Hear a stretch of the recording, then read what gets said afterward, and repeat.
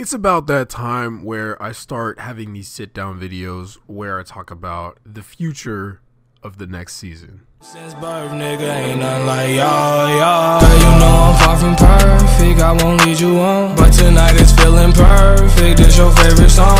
I know that move right, I know that move right, oh, the moonlight. Now, yes, I currently am talking about season four of Pivot Spider Man. Now, it's a little weird because normally we'd still be on, I don't know, maybe episode three at least. And progressively, we've been pushing out so many episodes to where I literally have to talk about season four so early. And it just feels like we started season three at the beginning of at the beginning of the school year, I believe. And now we're at episode seven, and we have four more episodes to go before it's over.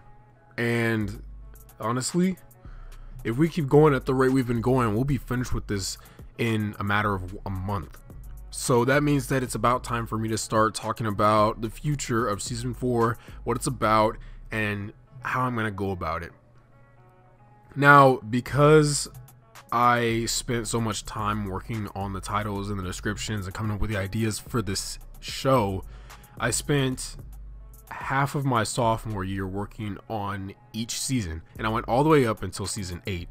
Now, uh, currently, I'm putting it at 10 seasons, but I'm starting to think that because we're going by so fast with everything, that in a matter of several years, eventually we're going to run out of seasons and I don't know if I'm still gonna have that that fire to push out seasons. So right now, currently, we're standing at 10 seasons, but a part of me wonders if people are still gonna want the same content by the time season 10 is over.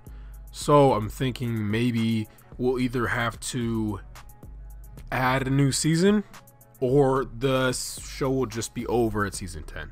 But we'll have to see because I'm not entirely sure what we're going to be doing. Because I know for a fact that season three is probably going to be the longest season of the show, which means every season after that is going to be maybe um, around nine episodes for sure. So we have to be more prepared about what's going to happen in the future for the show.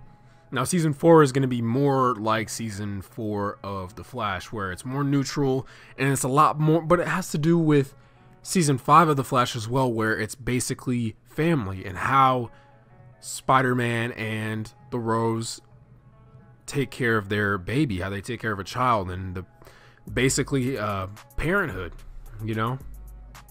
And that is what season four is going to be mainly about for Spider Man. But it's also like I said about the Rose, it's gonna be so much more action packed and it's gonna have more people getting on. But like I said, this is Spider Man, okay? This isn't the Rose. Now, yes, the Rose and Spider Man are in the same universe, but Spider Man alone, this is about Spider Man's time.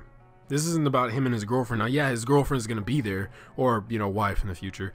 But, I mean, it's mostly about Spider-Man and how he handles becoming a man and pressure building upon him and having to take care of this, take care of that all at once. That's a lot of work for just one person, but he's going to be able to handle that. How is he going to be able to handle that though?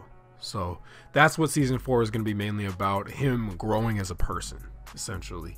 And he will start to eventually get more facial hair. I'm thinking about it. I have to talk to my animator, but we'll see what happens. So I uh, hope that answered some of your questions about what season four is going to be about since there's only four episodes left of season three.